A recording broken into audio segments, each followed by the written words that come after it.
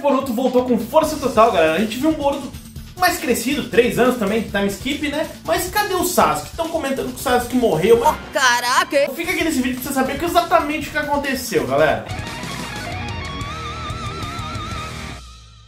E aí pessoal, tudo bem com vocês? Panela Nerd no ar mais uma vez.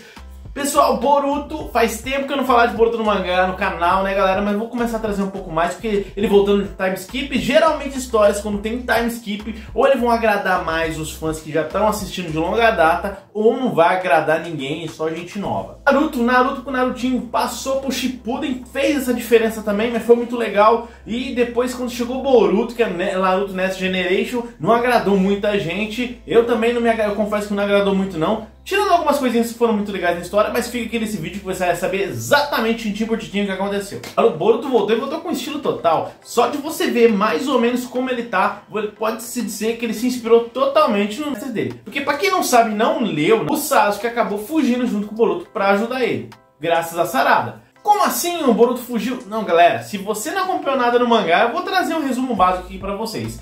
A Ada, aquela personagem mega overpower com a habilidade de conseguir alterar a realidade, simplesmente alterou é, a vida do Boruto com o do Kawaki. Então todo mundo achava que o Kawaki era um vilão, acabou passando a imaginar o Boruto como vilão e o Kawaki como se fosse o filho do Nanadaime Hokage, Naruto. Pois isso, tanto o Naruto quanto a Hinata ficaram presos numa dimensão e eles estão congelados lá. Então passou três anos time skip, mas eles ainda estão congelados ali dentro, galera. E toda a vila de Konoha estava contra o Boruto, ia matar ele. Então ele decidiu partir para fugir. O Sasuke também estava indo atrás dele. Só que a Sarada estava imune ao jutsu que a Ada fez. Então o que, que aconteceu? Ela simplesmente implorou pro pai dela, Sasuke, tá errado, tem uma coisa errada aí, por favor, ajuda o Boruto a fugir. Então ele foi a pedido da filha dele e fugiu com ele. Então, nesses três anos a gente pode ter certeza que o Boruto virou pica das galáxias de utilizar a katana, galera, porque Repara nessa imagem aqui. Aí, ó. Boruto não lutava com katana, agora ele tá lutando com katana, espadachim, mano. Habilidade muito boa, igual o like de vocês no canal, que é uma habilidade maravilhosa e ajuda o canal a crescer cada vez mais, pessoal. Obrigado de verdade. Oh, cara. Como, quando e onde nós sabemos se o Boruto treinou com o Sasuke, a gente não sabe. A gente só sabe que ele treinou e tá forte pra caramba. E depois a gente vê o Code invadindo Konoha atrás do Boruto. Uma das coisas que estão tendo repercussão na internet depois do capítulo é que o Sasuke não apareceu. Bom, é normal isso, galera. O começo do mangá tá aparecendo simplesmente. Já apareceu o Boruto, o Boruto em si, já é muita coisa, mostrando alguns personagens depois do time skipping. E a gente vê o Code também. O Code aparece ali, dá uma, toma uma sarevada do Boruto. E ele tava procurando o Boruto há muito tempo. Só que uma coisa que não bate é quando ele tá conversando com a Sarada ele fala: É, eu tô procurando o Boruto há uns dois anos. Mas faz três anos que o personagem sumiu. Ué? Então como assim?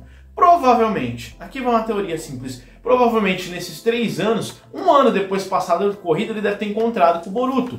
E se ele encontrou com o Boruto, provavelmente o Sasuke estava junto. Galera, um ano ele treinando com o Sasuke, que é um ever overpower do, dos ninjas do mundo, provavelmente ele deve ter evoluído bastante, mas talvez não o suficiente para uma habilidade com a katana. Talvez sim, talvez não. Então, eu até risco a dizer que aquela katana, risco, né, foi riscada na cara do Code, não foi o Boruto que fez, e sim foi o Sasuke. E será que o Sasuke se lascou lutando contra o Code? Não dá para saber. Mas se você não conhece o Code, eu vou dizer uma coisa assim. Dizia Amado, Amado Batista, não, mas só o Amado do... Que o Code sem os limitadores é tão forte ou mais forte que o Jigen, galera. O Jigen passava um rodo em muita gente. O Boruto sofreu para derrotar aquele cara.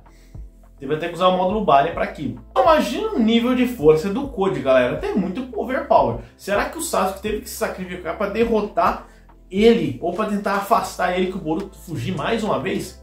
Galera, eu já digo para vocês desde já, eu vou descartar essa possibilidade. É claro que o Sasuke tá vivendo assim escondido em algum lugar, depois ele aparece. Por que eu falo isso?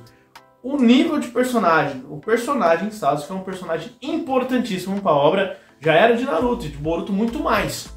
Então talvez ele vai aparecer um pouco mais pra frente sim, galera. Então fiquem tranquilos, o Sasuke deve estar tá vivo, óbvio. Falar pra vocês, né? Cicatriz tá virando moda já em Naruto e Boruto, né? Cicatriz deixa o cara mais gente boa pra caramba, né? É um no olho assim, é, dizia o Luffy, né? Cicatriz dá tanta polêmica no canal que tem que tomar cuidado quando eu falo. Depois eu explico pra vocês sobre isso, beleza? E aí que você tá lendo o mangá de Boruto, achou legal? Deixa nos comentários aí eu quero saber tintim por tintim sobre a sua opinião, beleza? Forte abraço, fiquem com Deus e até mais.